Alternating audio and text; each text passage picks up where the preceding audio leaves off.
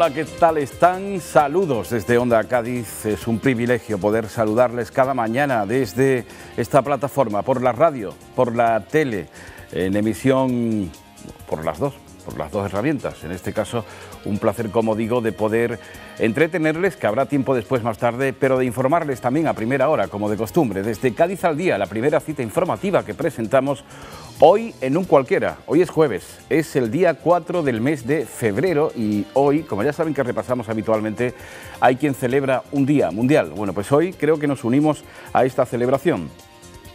4 de febrero, Día Mundial contra la lucha, la lucha del cáncer, contra el cáncer. Bueno, pues vaya nuestro saludo, sirva de, de, aunar más esa amistad y esa alegría por si padece algún tipo de enfermedad. Vaya nuestro saludo de verdad, de corazón, desde este programa. Bueno, pues estamos con 15 grados centígrados, la cosa no varía demasiado, baja un poquito, sube un poquito, eso sí.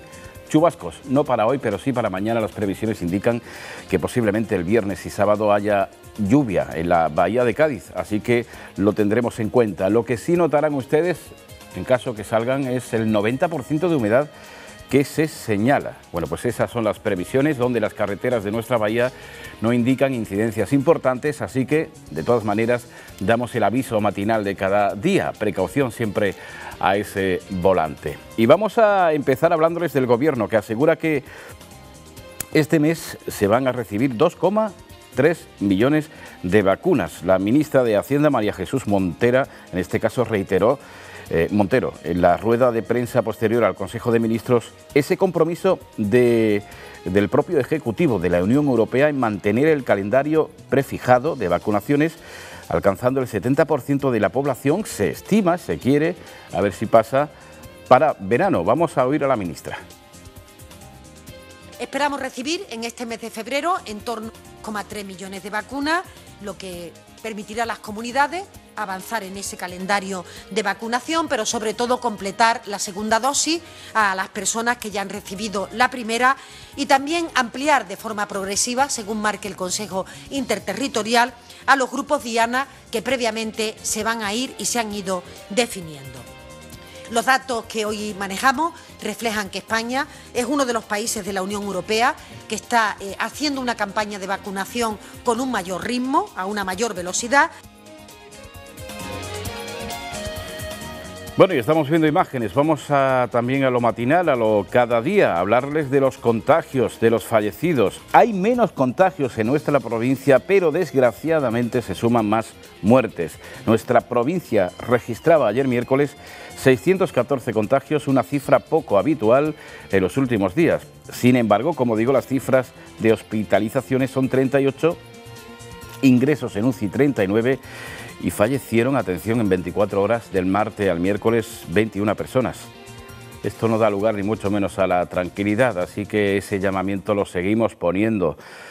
Eh, y hablando de la capital, bueno, pues se aleja un poco más del cierre de bares y comercio, como saben que en otras poblaciones ya está existiendo desde hace un par de semanas. Bueno, hay más que compartir, aparte del COVID, que también seguiremos señalando cosas y notas importantes, pero ahora repasamos la actualidad en estos otros titulares. Las noticias de la mañana en Cádiz al día. Desde Cádiz al día, momento de hablarles, de señalarles desde el Ayuntamiento, por ejemplo, de Cádiz, en este caso, pone a disposición de la Junta la Casa del Niño Jesús para desplegar un punto más permanente de realización de pruebas de COVID-19. Bueno, esta decisión se une al ofrecimiento también de espacios y medios municipales para así agilizar el proceso de vacunación. Y bueno, la preocupación por el coronavirus centra también la reunión de la Comisión Municipal de Absentismo Escolar. La ciudad solo ha registrado cuatro casos de ausencia por motivos también de la pandemia. Y el Puerta del Mar traslada pediatría para albergar así pacientes también con el COVID. El centro ha habilitado otro espacio específico en el centro eh, del hospital para la atención, como decimos, de niños y niñas y amplía la séptima planta eh, en un espacio para afectados por coronavirus dentro de esa readaptación prevista en ese plan de contingencia contra la pandemia. Y quedan liberadas nueve mujeres víctimas y detenidos cinco miembros de una organización dedicada a la trata de seres humanos para explotación sexual.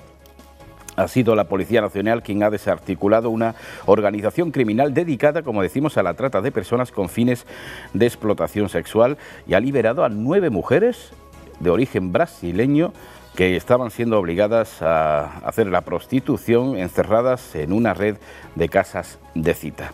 Y el precio del alquiler de una vivienda en nuestra capital, anotamos, se ha elevado a un máximo que no se recuerda. El portal idealistas.com ha sido quien ha realizado este estudio de mercado anotando que, bueno, en Andalucía, Cádiz, hablamos de la ciudad, solo es superada por la de Sevilla, Málaga, Marbella y en la Costa del Sol también Torremolinos. Y el hotel de tiempo libre, bueno, pues obtiene financiación europea. El Banco Europeo de Inversiones y Caja Rural del Sur van a aportar 32,3 millones de euros de los 46 millones de presupuesto total de esta iniciativa. Todo esto a cargo de fondos FEDER. Y el balance positivo a la primera eh, tanda de exámenes telemáticos de la UCA también lo señalamos desde el rectorado de la Universidad de Cádiz se recalca la ausencia de incidentes destacables y la capacidad al cambio que todos han podido mostrar ante esta convocatoria. Y Cádiz Capital se une también a esa campaña, Un árbol por Europa. El ayuntamiento está inmerso en esa campaña de reposición de arbolado con la que se van a plantar unos 150 ejemplares en todo el municipio, como ocurre en otras ciudades también eh, de Europa. Y los controles de acceso a Cádiz acaban cada día con una media de 25 denuncias. La policía local instala cinco puntos de control para entrar o salir de la capital, dos por la mañana y dos por la tarde y también por la noche, uno de ellos.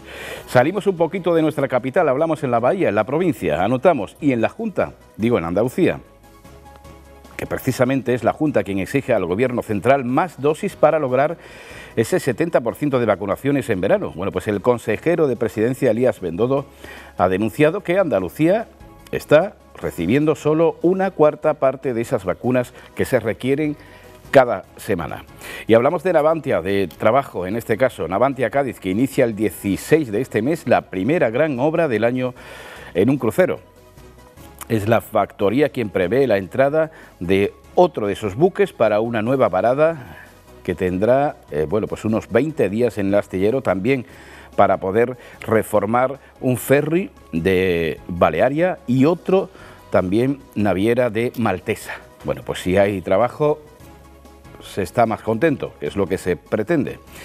88 obras del Profea gestionadas por Diputación, bueno, pues concluyeron con más de 8.600 contrataciones. Hablamos desde el área de cooperación y asistencia de municipios que adoptó un plan frente al COVID y que invirtió 95.000 euros en la adquisición, en este caso, de medios de protección individual y colectiva. Y vamos a hablar, cercamos, bueno, sí, nos ponemos en Puerto Real, hablamos de la plantilla de Triquitraque, recordarán ustedes, bueno, pues retorna las protestas contra los despidos. Ellos insisten en que, bueno, es posible que se mantengan los grupos burbuja y que se cumpla ese protocolo.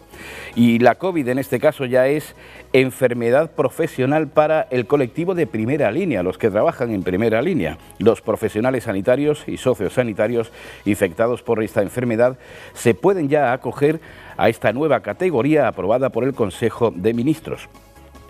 Hay que decir que los colegios de medicina y enfermería pues aplauden esta medida. Y los hospitales de Cádiz y Puerto Real derivan operaciones a centros privados, se lo imaginan, médicos de sanidad pública se están desplazando para bueno, realizar esas intervenciones quirúrgicas de, mm, eh, de media complejidad en la salud y en los hospitales también de Chiclana. Y el juzgado de lo penal número 5 de Cádiz en cuarentena, así como le contamos, Todas las causas están sufriendo un grave retraso, incluidas las de violencia de género, con el riesgo, que ya saben que ello eh, implica a las víctimas, para las víctimas. Y confirmados siete casos de coronavirus en el módulo 11 de la prisión de Puerto 3. Cruz Roja, y acabamos con dos importantes. Por una parte digo Cruz Roja Española, que apoya a 200 jóvenes en su emancipación en la provincia de Cádiz, y la Asociación Española contra el Cáncer, que organiza, como saben, hoy uno de esos diálogos que se pueden seguir de forma telemática y queremos invitarles, si tienen tiempo, un ratito. Recordamos, a las once y media se podrán conectar a ese décimo foro contra el cáncer en foro.eventoscontraelcáncer.es. Repito, foro.eventoscontraelcáncer.es. Esto por una parte. Por otra, también hablamos de, perdón, Ciudadanos que pide explicaciones al ayuntamiento, hablamos ya de la capital nuevamente, para esas ayudas, eh, ayudas COVID al comercio, precisamente a la hostelería y a los autónomos. Las concejalas del grupo municipal recuerdan que el 31 de enero bueno, pues ha expirado, ha acabado ese último plazo que exigen datos de resolución de esas ayudas solicitadas por 507 personas autónomas y pequeños empresarios locales. Lo aclara mejor Carmen Fidalgo, concejala de Ciudadanos. Es inconcebible que el equipo de gobierno haya vuelto a incumplir con los comerciantes, hosteleros y autónomos de Cádiz y en plena tercera ola siga sin entregar las ayudas de emergencias prometidas para combatir las consecuencias de la primera ola. Tenían que resolver y entregar las ayudas a principios de otoño, pero se dieron tres meses más de plazo para tramitarlas. Ese límite de tiempo que ellos graciosamente se concedieron acabó el 31 de enero. Y los solicitantes afectados siguen sin saber nada mientras vemos como muchas tiendas, bares y pequeños negocios de proximidad echan el cierre. Bueno, pues esto decía en este caso Carmen Fidalgo. En otro asunto, la pandemia ha sido un efecto conyuntural eh, para el empleo. Esto lo dice Comisiones Obreras, que ha presentado un documento sobre el mercado laboral de nuestra provincia en el que se especifica la necesidad de políticas activas y alternativas para atajar este problema de estructura en toda la comunidad. Desde la propia organización sindical se ha señalado que Cádiz mantiene la segunda tasa más alta de Andalucía, aunque se ha sentido un aumento en la ocupación en este último trimestre debido a la alta temporalidad. Bueno, pues para la formación se necesitan, como decimos, nuevas herramientas, además de ERTES y protección de autónomos, bueno, que han servido de alguna manera, de manera específica durante todo este tiempo. Inmaculada Ortega es de Acción Sindical y Empleo de Comisiones Obreras. Donde no hay una apuesta por políticas que sean locales y territoriales y porque no se hace tampoco una apuesta fiscal dentro del ámbito del, territorio que, sea, que sirva también para cohesionar las grandes empresas, los grandes centros de negocio siguen estando concentrados en Madrid, en Barcelona, en las grandes urbes, en las grandes capitales y lógicamente eso tiene una traducción en la economía de, de la periferia y del resto de territorios del país como tampoco lo hay una apuesta por la, por la industria y por otro tipo de, sectores que, dan calidad al empleo. Bueno, estamos en las 9, 14 minutos de la mañana, hoy es jueves 4 del mes de febrero. Eh, vamos a continuar ahora con protagonista, en este caso mujer, que será la primera entrevista del día en Onda Cádiz. La primera entrevista de la mañana en Cádiz al día. Hemos dicho bien, 4 de febrero nos unimos a esa celebración, seguir luchando contra el cáncer a nivel mundial se hace y desde aquí tenemos y queremos tener ese primer detalle. Protocolos y medidas especiales, bueno, que no van a poder eh, hacerlo de manera más cercana, más dicen que más humana quizás el estar pegaditos, pero nos estamos acostumbrando a lo telemático y estamos empezando a convivir y a llevarnos bien y a entendernos mejor en la distancia, aunque bueno, lo que queremos siempre es estar lo más cerca posible de, los nuestros. Bueno, si es por caminar unidos a esta buena causa, lo vamos a hacer hoy, en la mañana, como decimos. Agamama pone en marcha un espacio de confianza, así se llama, es una plataforma digital para dar más apoyo a las mujeres con cáncer de mama y para ello vamos a hablar con Agamama, lógicamente, y con Maripaz Ríos, a quien damos los buenos días. Maripaz, ¿qué tal? Buenos días.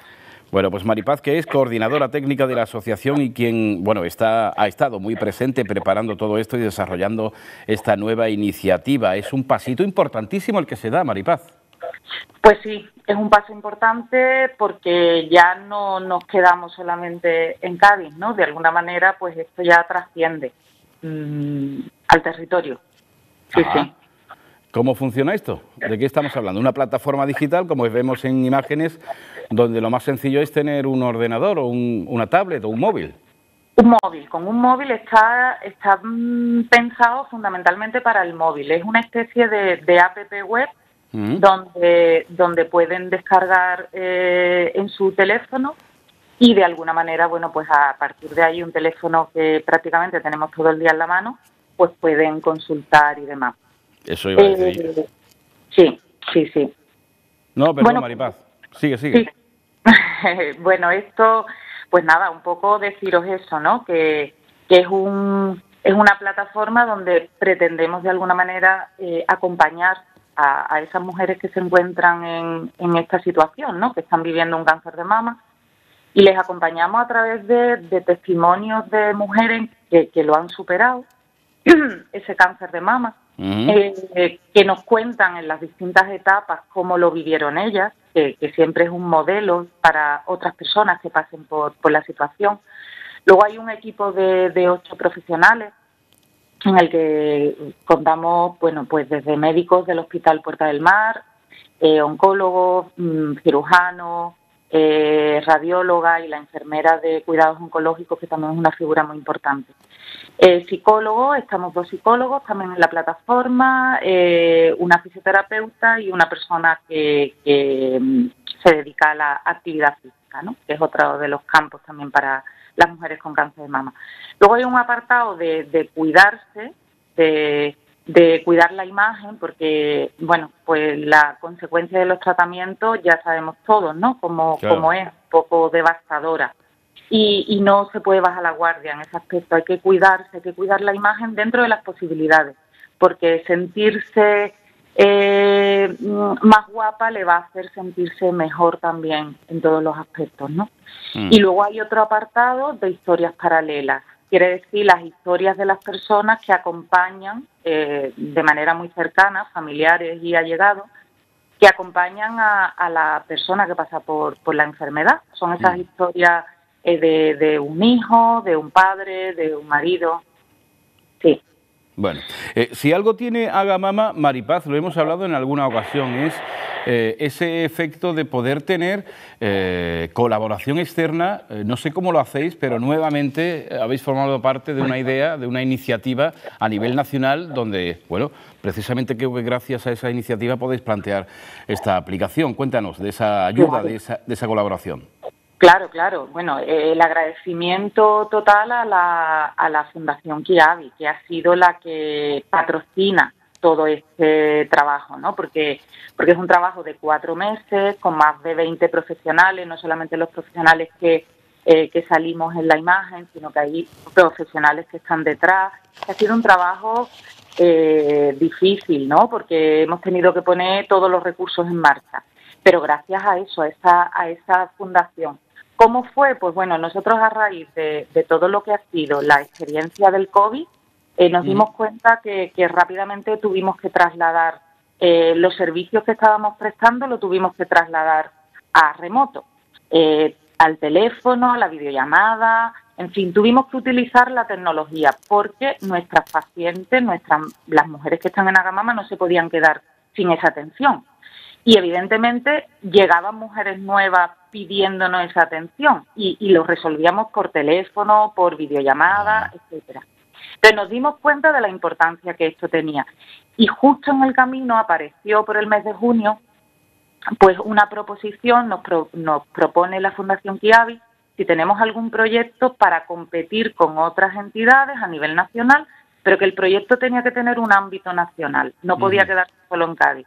Y entonces, bueno, fue como unir rápidamente ¿no? las ideas y decir, oye, si creamos esto y hacemos una gamama en la red, porque al final, bueno, nuestra, nuestra idea es eso, ¿no? Que alguien pueda, aunque no pueda salir de su casa, pues pueda de alguna manera tener eh, esa posibilidad. Y, bueno, sí. No, no, sigue, por favor. Soy yo el que soy, soy yo el que mete la pata cuando interrumpo. sigue. Nada, nada, ya estaba acabando un poco, ¿no? El argumento este. Y nada, y al final, pues mm, nos presentamos y, vieron que la idea era adecuada y hemos em, trabajamos conjuntamente con ellos.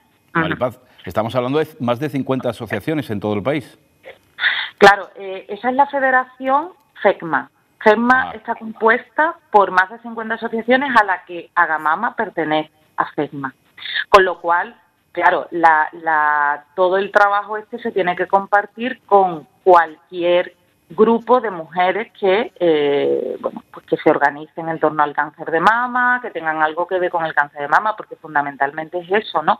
Ayudar que esto se expanda y ayudar a otras mujeres. Al final lo que no se conoce no existe y, nos interesa que, esto lo conozca cuanta más gente. Pues el mundo online es así, hay que estar ahí para que los demás sepan de, ti. ¿Cómo entrar? Que no hemos visto todavía de qué manera sencilla poder formar parte de esta nueva iniciativa. Pues eh, si pones espacio de entras directamente en la plataforma y a partir de ahí ya pues cada uno se va moviendo en función de lo que vaya eh, necesitando. Mm. Muy bien, una última cosa. Imagino que en todo este año pasado, en todo este tiempo transcurrido de confinamiento, habrán aparecido seguramente nuevas necesidades, ¿no? Que se le ha tenido que dar poco a poco solución. Un poco por, por hablar de manera genérica, Maripaz, ¿cómo ha ido este año y en este comienzo de 2021? Bueno, pues un poco lo que te contábamos, el año 20, pues nosotras como siempre con nuestras actividades nos confinamos y ahí surgió el que había que seguir atendiendo a las pacientes. Nosotros cerramos el centro, pero no cerramos el atender a mujeres que lo necesitaran. A nivel psicológico, fundamentalmente, hubo mucha atención en esos momentos porque muchas personas también eh, viven solas y necesitan de alguna manera, se encuentran un poco en esos momentos pues como un poco mm, eh, solas, ¿no? Y con necesidades, y ahí estuvimos. Y bueno, luego en el momento que ya pudimos incorporar con todas las medidas, porque Agamama es un centro sanitario, tiene unidad de fisioterapia y las pacientes ah. también necesitan esa recuperación. Ahora hemos establecido unas medidas muy, muy estrictas en nuestro centro, pero, pero vienen a rehabilitarse. Y también estamos ahora mismo con un proyecto de telefisioterapia también, o sea, estamos intentando eh, que nadie se quede sin su atención porque este, este virus que nos está un poco eh, descolocando a todos, ¿no? Entonces, bueno, esa, esa, en eso estamos, vamos. Bueno, espacio de confianza que se acaba de presentar hoy coincidiendo con el 4 de febrero a disposición ya de, de toda mujer que quiera. Eso es, sí, sí, sí. Pueden entrar, nos pueden consultar y muy interesante, también al final Dentro de la plataforma hay un apartado donde quien quiera nos puede contar su historia. Quiero decir que, que le estaremos escuchando. Entonces, si quiere escribir, hay un apartado donde, donde nos puede contar su historia. Muchas veces cuando hay alguien que está sola y, y tiene necesidad mm. de hablar o y si en ese momento no se puede hablar, nos puede escribir. Y ahí estaremos para escucharla. Bueno, pues me ha llamado mucho la atención ese espacio de profesionales donde se pueden hacer consultas y especialmente también sirve de ejemplo el conocer las vivencias de otras personas. Maripaz, que eso sirve a veces, ¿no? Para no vernos solos y ver cómo hay otras personas que están en una situación igual o peor incluso que nosotros. Claro, claro, por supuesto, por supuesto. Y, muchas veces el modelo de alguien eh, de cómo ha resuelto una situación, cómo, cómo se ha enfrentado a un diagnóstico, cómo se ha enfrentado a comunicarlo a su entorno, cómo ese tipo de cuestiones son importantes ver cómo otras personas lo han hecho, porque es un modelo para la persona que lo está pasando. Ese es el verdadero objetivo de, la asociación, del grupo de ayuda mutua, eh, tener a personas que ya han pasado por ahí y te cuentan su experiencia en primera persona. Y ese es el valor también de la plataforma. Pues un paso importantísimo el que da nuevamente la asociación que no paráis y eso nos alegra, saber que no estáis en vano, que estáis ahí precisamente para dar un pasito más y cuando dificultades como la de la pandemia también la tenemos eh, enfrente, pues hay que saber atajarlo y dar continuidad a la vida para estas personas que lo necesitan. Maripaz, el saludo desde Onda Cádiz que te lanzamos, permíteme que sea también repartido al resto de compañeros y compañeras de la asociación. Por supuesto, por supuesto, claro que sí. Pues que salga todo bien y hasta una próxima. Muchas gracias. Muchas gracias. Un abrazo. estamos hablando con Agamama. Hoy ya saben, 4 de febrero, Día Internacional contra la lucha o contra el cáncer en este caso, lucha contra el cáncer. Hoy precisamente en ese eh, eh, en este en este día, pues la compañera Marta Tocón en El Mirador va a tocar también el tema hablando con la propia Asociación Española contra el Cáncer y saber un poco también sobre bueno ese impacto eh, eh, sí, psicosocial del COVID, eh, las actividades que plantean también para estos días, en fin, la cosa es argumentar contra el cáncer hoy, ya que lo es en el mundo entero, nos queremos sumar para seguir apoyando y saludándoles y animándoles en cualquiera de los casos que estén. Estamos en tiempo de despedida, 9, 25 minutos, se quedan ahora con ángulo abierto, más información y más entretenimiento en una programación repleta de compañeros con ganas de contarles cosas. Es jueves Sigue el día, ojalá sea bueno y afortunado para todos. Hasta mañana viernes, adiós.